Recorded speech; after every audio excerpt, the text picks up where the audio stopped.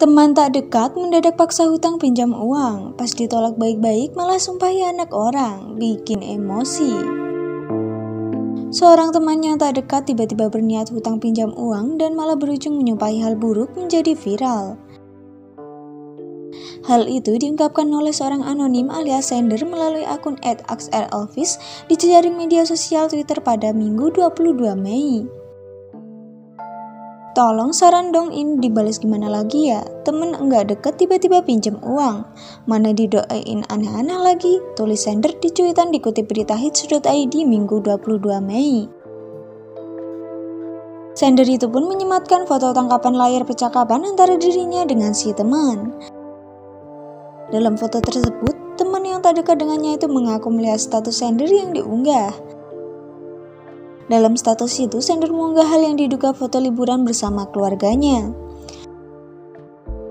Si teman pun lalu menyebut nominal uang yang hendak dipinjamnya.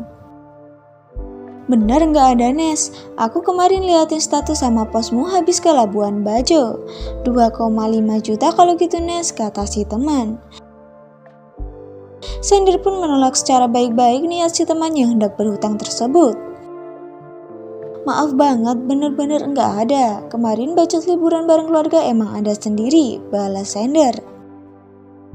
Jawaban itu sontak membuat si teman diduga tersakiti. Teman sender itu langsung tidak terima karena tak dapat pinjaman dan langsung mendoakan hal buruk dengan menyumpahi anak sender. Nyenengin keluarga bisa banget, tapi bantu temen alot. Ya udah, semoga anakmu besok kalau dapat penyakit nggak ada yang bantu ya Nes. Tuhan memberkati, pungkasnya. Cuitan itu sontak menuai beragam tanggapan dari warganet di kolom komentar. Aneh banget lo yang kesusahan orang lain yang disumpahin. Lagi minjem duit maksa banget, kayak mampu balikinnya.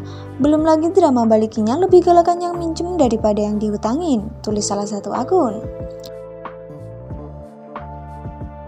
Lah kan emang keluarga lebih utama dari temen, aneh, komentar akun lainnya. Nyenengin keluarga bisa banget, ya emang gue kerja cari duit buat nyenengin lo, emosi banget bacanya, ungkap akun lainnya. Lah, sumpahin balik lagian sok-sokan Tuhan memberkati, jelas-jelas Tuhan nggak pernah ngabulin doa parasit kayak doi makanya miskin, timpal netizen. Saat artikel ini disusun, unggahan telah mendapatkan lebih dari 5.700 tanda suka dan 2.000 kali dikutip serta dibagikan.